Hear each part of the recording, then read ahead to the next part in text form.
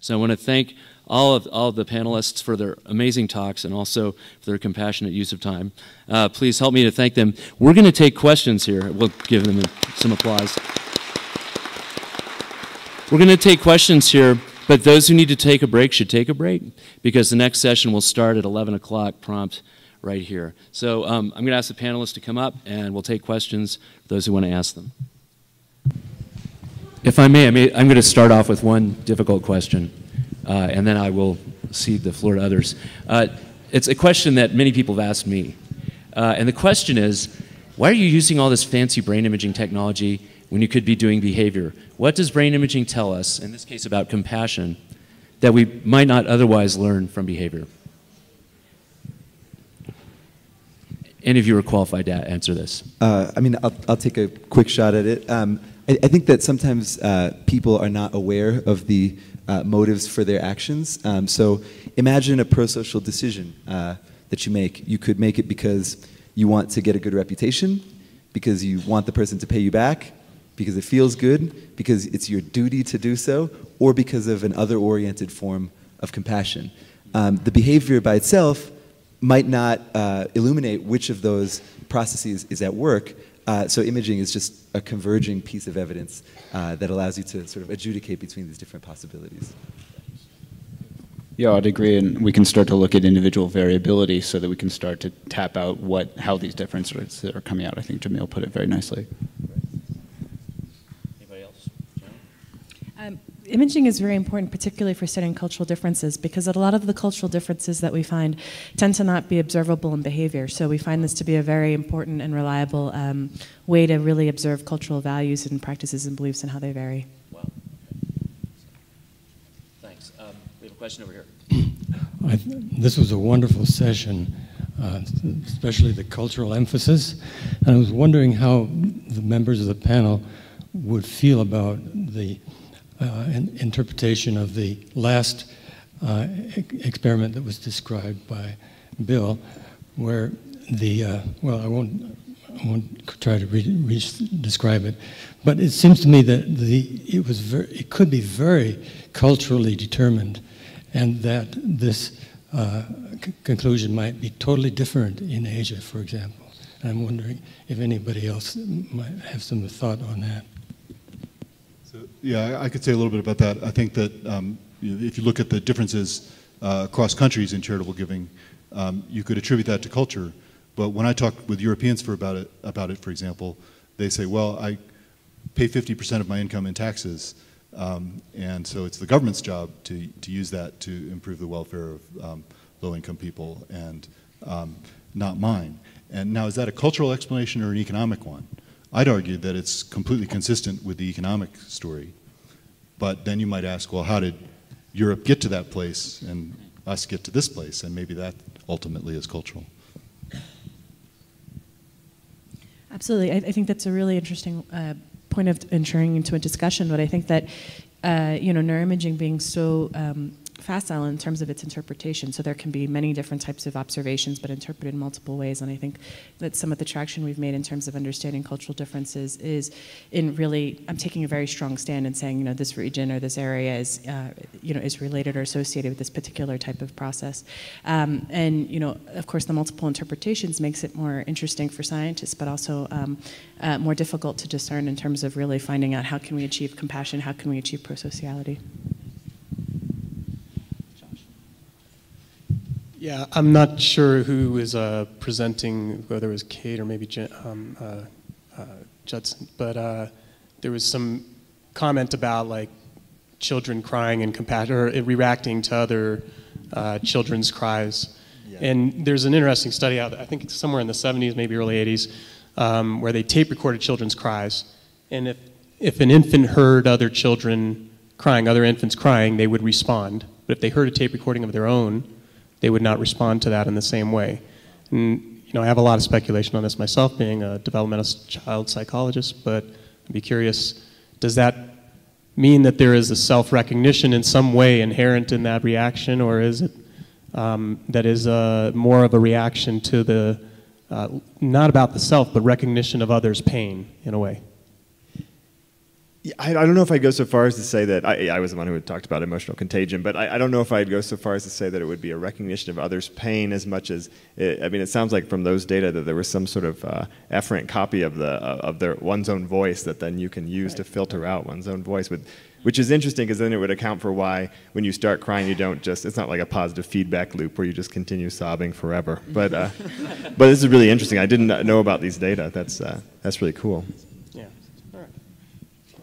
I think a lot of the data, developmental data looking at infants crying, is intended, intended to be somewhat transient, uh, situational kinds of influences. And there's a lot of really interesting cultural, uh, uh, cultural psychological behavior work within developmental psychology showing that cultures have different interpretations or way of responding to infant suffering. All right, a follow up question Is anybody up here related to an NFL star?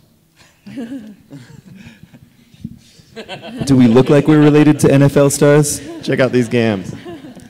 Right there. Just two points. First of all, I, I absolutely love this work. Um, I have just a couple of um, concerns about some of the assumptions of economic models. And so I'm wondering two things. One is the interesting um, place that price has in our economy. It makes the assumption that what is purchased is valued by the consumer. And given what we know about hoarding and, um, you know, sort of massive consumption of, of um, products that are not valuable, like maybe Walmart could be an example, or um, a do um, do economists take into consideration the idea that the consumer is not able to is, is almost driven by bio- biological drives to to basically grab whatever they see um, in which case it really it, it, it, it creates an imbalance, I guess, between the consumer and the and the seller in terms of value and where that gets transferred. And then the other issue is by using neuroimaging to talk about reward centers and to be using a, a broad term like reward, it makes me wonder about uh, behaviors that are involved in investment. And so when we invest in others, when we, we not just give to charity and like walk away, but what is it when we're building something? We're building communities or building one another or, or taking families and investing even though we're not getting rewards in return or nothing is coming back to us. And so is there a neuroscience of investment is, my, is one question I have. And the other is are, are economists like even thinking about these, these things that take us outside the limitations, I guess? Yeah, I'd say economists think about that stuff all the time, and you know the the model that I'm giving you is sort of the the, the old model that is designed to explain very simple kinds of consumption behavior. But the the points that you raise are are certainly important and and not neglected um, in practice by economists. And so one example would be positional goods, where um, you know, there, there's a good that gives you high status, right? And only uh, one person can have that that, that good, and the more expensive it is, the more status it gives you, right? So i one way to think about that is, it, it, in a sense, you buying that good is creating negative spillovers for the other people who can't have it, right? And economists use that as one justification for a high marginal income tax to discourage exactly that kind of behavior. So, um, and then, then your second point about um, the, um, the positive feelings that people have from, you know, from, in, in, from caring and um, helping other people. Um, I, actually, I think that this work is, what, what's so interesting about it is it shows that, that the same neural circuitry is involved in that. And to me, as an economist, um, uh, that is, is really good and positive. It means that we can explain it not as an aberration, but as a normal part of uh, human behavior, at least within the economic model. So- But if, but if we need to invest, and even when we're not getting the rewards, I guess is what I'm saying, Right. um, there seems to be a, a gap. I mean, I- I guess one of the one of the points here is that even if you're not getting an external reward from from from doing something pro-social, you might be receiving an internal reward from doing it. I mean, that said, I think that uh, one of the interesting points that we heard about yesterday was the difference between hedonic and eudaimonic uh, types of action or, or, or, or even reward. And I think that so far, uh, neuroscientific models of prosociality have really just focused on what we know, which is a system that you would probably interpret as hedonic. Um, I don't think that there's a great neuroscience of eudaimonic uh, experience yet. Um, but but I, I hope that you know in five or ten years. We, I we guess that's have, my question. Yeah, Yeah. Is, are things going beyond that? So. Phil. A question for Joan, or rather a comment. Uh, I was recently in the Davos Economic Forum and I met a young Korean entrepreneur who consults with Samsung. And he said that a major problem they have is bullying. And he said the whole culture is a bully based culture and it's always top down. Uh, it's not it's not peer to peer, and it's worse between uh, Korean managers and uh, and workers from other countries. And he said, and this is true around the world. And given the power of Samsung, you know, he he says he, he doesn't know anything being done about it to challenge it. Is that is that true? I'm trying to reconcile it with your presentation. I think SAMHSA, the Global Mental Health or, uh, Office at NIH, are, have a very um, kind of keen insight into this, and particularly for understanding cultural differences. So, for instance, in organizations where there might be a cultural difference, um, the fact that the preference for a hierarchy doesn't necessarily mean that there's increased bullying. I think that, in fact, theory of mind or having a capacity for understanding rules within an organization, as long as everyone agrees with that and is kind of more homogenous in agreement with the theory of mind kind of uh, strategy, you know, then I think that it can actually really re- reduce bullying and increase so- social harmony, kind of fulfill the, uh, the goals of collectivistic cultures. Um, in a diverse society or a multicultural, pluralistic society where you have many different values represented and, uh, and but embodied within communities, it becomes a much more of a challenge um, to really balance that. But I think, uh, again, NIH, SAMHSA absolutely have a clear understanding that, you know, we need to have representation, demographics that are really going to be able to provide both cultural information that's valid as well as um, really contribute to our nation's understanding of health and well-being for all people. Right. Okay.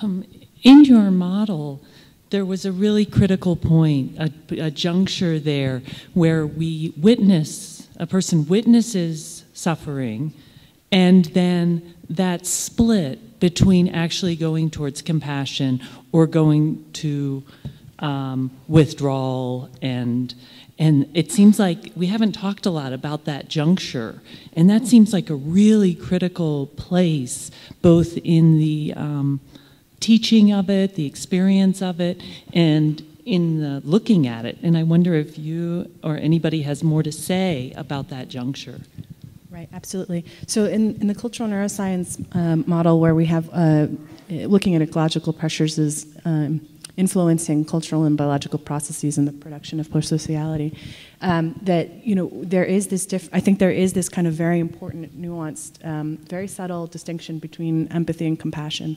Um, compassion is something where you know you can at least understand, if not necessarily vicariously experiencing.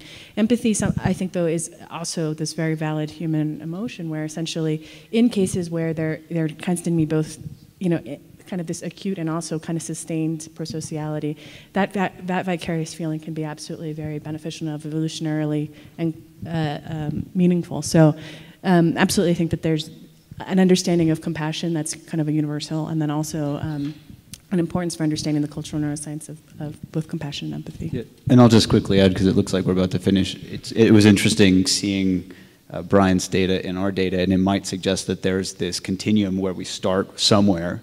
Um, you know, there's this saying from I think Jack Engler says you need a self to transcend self. So we start where we where we know, and we start with these self-referential, you know, empathetic processes, and we start to learn, you know, what's this feel like, uh, and then are there are there greater pleasures that lead to selfless giving, and we we might be able to start to tease out a continuum from the beginner to the experienced meditator, just as an example. Just to add to that, you know, there's this idea in the Buddhist compassion meditation practice that you start with your, your mother, basically, and you extend out. And then one can imagine getting much more abstract, right? All sentient beings. And so there might be an interesting parallel there as well. Uh, thank you for that fascinating session, and obviously it stimulated a lot of questions, but unfortunately, I think for the sake of time, we're going to have to conclude, so I'm sorry. Thank you.